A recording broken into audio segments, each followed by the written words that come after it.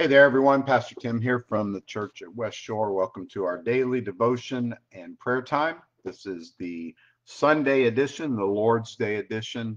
And um, thank you for joining me once again. We are in Exodus chapter 12,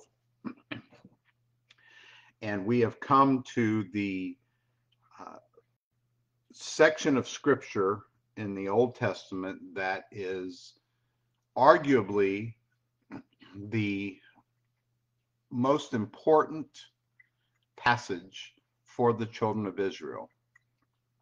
And in a long term sense, vitally important for believers in Jesus.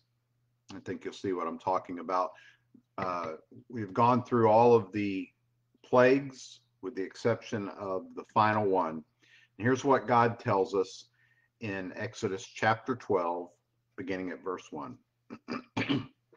While the Israelites were still in the land of Egypt, the Lord gave the following instructions to Moses and Aaron. From now on, this month will be the first month of the year for you. Announce to the whole community of Israel that on the 10th day of this month, each family must choose a lamb or a young goat for a sacrifice, one animal for each household. If a family is too small to eat a whole animal, let them share with another family in the neighborhood. Divide the animal according to the size of each family and how much they can eat. The animal you select must be a one year old male, either a sheep or a goat, with no defects. Take special care of this chosen animal until the evening of the 14th day of this first month. Then the whole assembly of the community of Israel must slaughter their lamb or young goat at twilight. they are to take some of the blood and smear it on the sides and the top of the door frames of the houses where they eat the animal. That same night they must roast the meat over a fire and eat it along with bitter salad greens and bread made without yeast. Do not eat any of the raw meat any of the meat raw or boiled in water. The whole animal, including the head, legs, and internal organs, must be roasted over a fire. Do not leave any of it until the next morning. Burn whatever is not eaten before morning.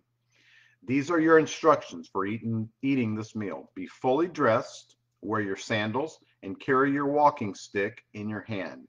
Eat the meal with urgency, for this is the Lord's Passover. On that night, I will pass through the land of Egypt and strike down every firstborn son and firstborn male animal in the land of Egypt. I will execute judgment against all the gods of Egypt, for I am the Lord. But the blood on your doorposts will serve as a sign, marking the houses where you are staying. When I see the blood, I will pass over you. This plague of death will not touch you when I strike the land of Egypt. So, this is the installation, if you will, of the Passover meal, the Passover celebration that the children of Israel still celebrate to this day. And it, it has an incredible impact and um, meaning to the children of Israel.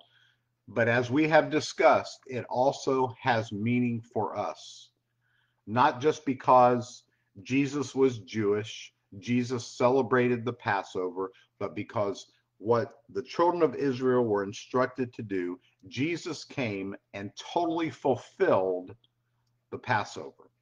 It's no coincidence that on the night that he was betrayed, the night that he was arrested, before he would be um, executed, hung on a cross, dying for our sins, that Jesus ate the Passover meal with his disciples they knew what that meant.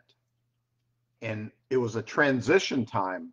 What Jesus did and was saying to them is that this is the final time that the Passover meal, as you know it, will need to be celebrated. Because the lamb that was slain and the blood put on the doorposts of the houses had to be redone. But now the true Lamb of God had come, and his blood would be placed over our lives once and for all.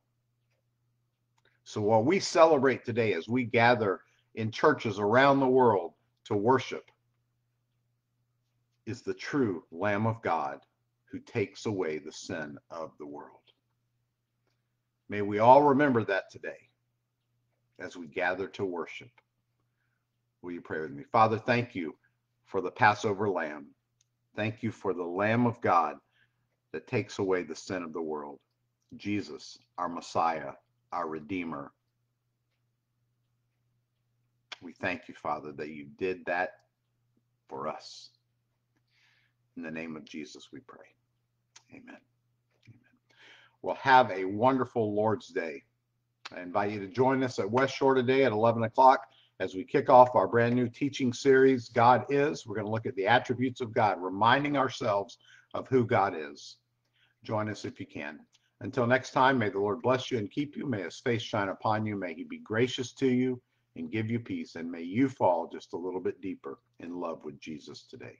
Take care. May God bless you.